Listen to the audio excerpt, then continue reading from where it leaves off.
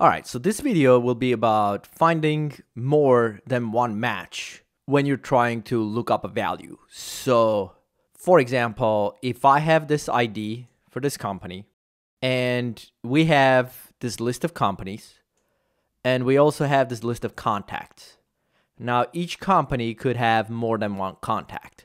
So if I look up this ID that ends with 3300, in here, let's just do Command F and Command V. See, we have what seems to be two people, Ross and this other person. They both work for that company. So we have two people matching that. Now, the same way we could have more than one person matching this one too. So if I go here and do a search, see we have one, two, three, four. So now we have four people matching this company. I'm going to show you what are some different ways we can match the data and bring it over together with two data tables like this. So the first question when you get something like this is what the end result should actually look like. So for example, if we look for this 3300 and remember we found there were like two, I think it was this and this. So how do you want that to show up on the other spreadsheet? So one way could be to have somebody in this first column and another person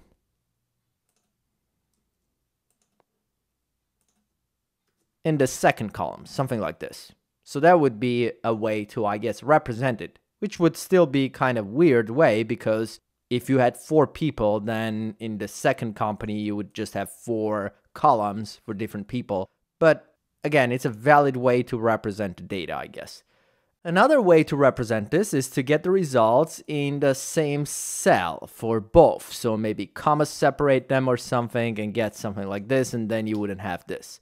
So now you could comma separate two values, three values and things like that and it would work out, right? So that's another approach to this. And finally, the third approach I can think about this is this. We could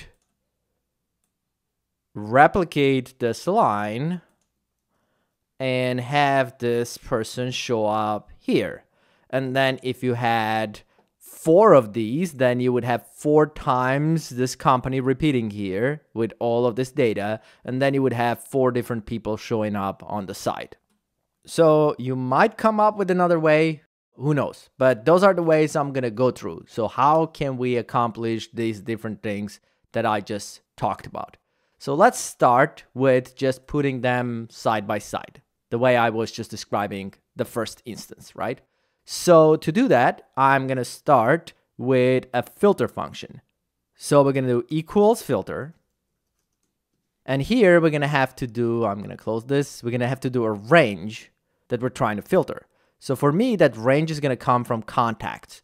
I'm to go to contacts tab, and that's to be the results that I actually want. So that's going to be these names. So I'm going to go ahead and select this and I'll drop the end reference for this range so that it goes all the way down. And then we'll do F4 to lock this range. So the dollar signs. And then I'm going to do comma. And then we need the condition. So the condition is going to be, we need to make sure that uh, company ID is matching the other company ID.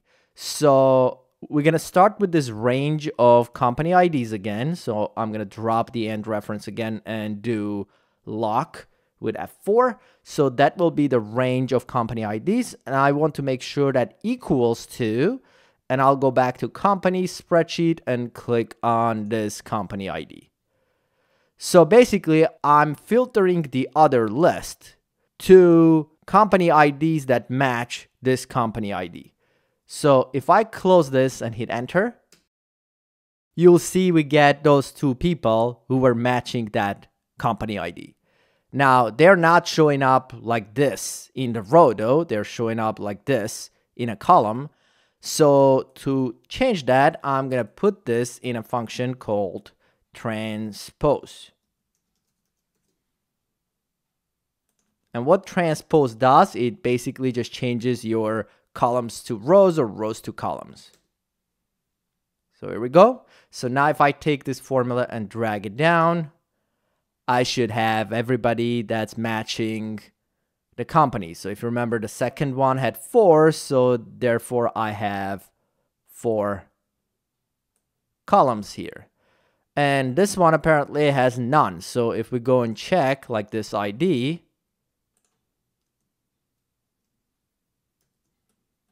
see zero matches for that. So that's valid. So here we go. So this is the first example, right? So we use our filter function with transpose, put the values in here, we're done. I'm gonna remove all of this. Let's look at our second case. I'm to drop this transpose function. So the second case, we want to basically just comma separate these things in the same cell.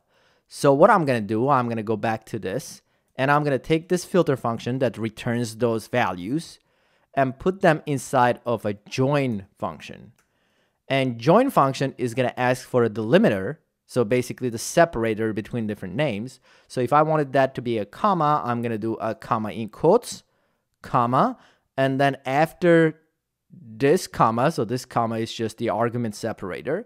After this comma, I'm to provide this array, which is what we have. So I just need to close parentheses all the way to the right here, like this, and hit enter. And we should have those people comma separated. So if I drag this down, you should see how we get comma separated list of results. And if there is only one, see there's no comma separators. So this is where join function is excellent for this. So it's not going to add commas if there's only one.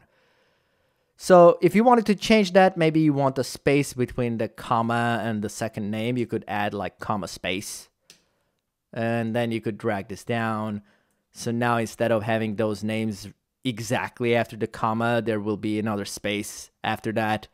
Or you could do another separator. Maybe you want to do like a dash or something. All right, so those are the first two cases. So one is using filter with transpose. The other one is filter with join. So the third case is the most complicated one, I guess, out of these is when we need to replicate this row all over again so we can put those names next to it. Now, we're not going to be able to put this in the same tab right here. Well, we could do it on a side or below, I guess. But what I'm trying to say, it's not going to fit within the data because if we're replicating this, it's not going to work out with this data set. So we need to get the results in a separate tab. So I'm going to create a new worksheet here. I'm going to call it find multiple matches. And for this, what I'm going to do, I'm going to use super SQL function. Now this function by default is not a function that's available in Google Sheets. I'm to put a link in the description to a video that shows you how you can install this so you can use it if you want to use it but this is what I'm to use to get that joint result.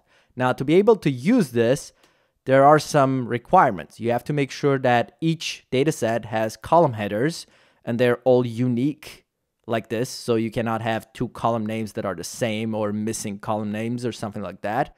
And that also applies to the second dataset. So we have to make sure we have unique column names here. Now, once we get that, we should be able to use our super SQL function. And the first thing is our SQL string or SQL string, however you want to call this. So that should be in quotes. And I'm going to go back to that SQL string in just a second. I'm going to do comma. Then it's the data as array. So what is the data we want to use? We do have two data sets. So I'm going to go ahead to companies worksheet and I'm going to select this thing, including headers on top. I'm going to drop the end reference. I don't have to lock this because we're not going to be dragging this down, comma. And then after the comma, we can actually provide a second range, which is going to be contacts. So I'm going to go to contacts and also select this range, including headers, drop the end reference, close parentheses. Now we're not done yet, but this is a beginning. Now what we have to do, we have to go back to this quotes and do a select statement to make this whole thing work. So for now, I'm just gonna hit enter. This is gonna give us an error. That's not supposed to work because we didn't do a valid statement yet. And we're gonna go back and try to do the statement. So in this statement, we need to basically work with these two tables. One is called companies, the other one is called contacts, right? And from both of those tables, we're gonna need some columns to be returned. So for example, from this companies table, I have company, which is not spelled right. Let me actually spell that right. Company. We have city, state, and balance. Those are the columns. If you want all of them, maybe you want some of them, not all of them. I'm gonna do all of them. So let's say I want these four columns, and maybe you also want the column ID. So that would be basically all columns from this particular one. So I'm gonna do that by going back to the statement, and in this quotations, I'm going to do select keyword, do space, and then I have to follow this by the columns I want from the first table. Now we have to give some names for these tables, and we're gonna have to come up with these names ourselves. So I'm just going to call this first table CO for company. So that's the company table. So I want all columns from the table. So I'm going to do CO dot and then star. So star in this case means all columns. So I want all columns from our company's table, comma. Now, what columns do I want from the contacts table? Now let's assume I want all columns from contacts table as well for the time being. So I'm going to name this second table something. So I called it CT. And then I'll do again dot star for again all columns from that second table as well. So now once I have this, I'm going to do from. Now we have to say which tables these are coming from. So these froms are going to be question mark here. So this question mark is going to refer to this first range, which is going to be our companies table. And we're going to make sure that we call that whatever we called it here. So that's CO. That's the name of the table. So I'm saying this first range, we're calling it CO. And therefore here we can say from that range, from that CO range, we want all of the columns. So then I'm going to do this. I'm going to do left join. Now we need the second table. So I'm going to do a question mark again. And the second question mark is going to refer to the second range, which is our contacts table. So that table we're naming CT based on this. Now, the final thing I have to do is show which column we're joining these two tables on. So I'm going to do on. And the first table that I've just named CO has that column that was called, which I don't remember at this point, but see this COID company ID. And then we also have this COID from this. So those are the columns we're joining these two on. So I'm going to say we're joining the first table, which I called CO, with this COID column. And we want that to match, which is where I'm going to do an equal to, from that second table, which is a contacts table, the column that's also, in my case, called COID. Now, that column doesn't have to necessarily have the same name in both tables, but you're going to have to match the column name in both. So in my case, it's the same, so it's going to be the same. I'm going to hit enter. And what we should have is our results table. Now you can see how I got all the columns from both tables with our match. So I got, see, Wesley and this person. And then for this company, remember we had like four people. So that's pretty much what I'm getting here. So I got my joint result. Now, if you didn't want all the columns, you can just choose which columns you want from each table. So let's say I didn't want all these columns from the second table, which is what I have right now, name, email, phone, department. Maybe I only want the names, right? So in that case, I would just go back to this statement. And instead of doing ct.star, I would just do ct.name, which is the name of that column for names. So if I do enter, now you'll see it's only going to return the names for people. So they should be in here. See? Now when you do this, the names are appearing in the beginning, not in the end. So if you want to control this order, you also want to go here and also list the columns from the first table too. And that will also let you choose like which columns you want to actually display. So I'm going to say from the first table, I would like to get what was called COID, which is company ID. And then I would like to also get, again, I just have to comma separate them. CO dot, whichever the next column was called. So I think one was called company. So for right now, let me just do this too. So if I hit enter, see we get ID, company, and name. So these two are coming from this first table and this third one is coming from this second table.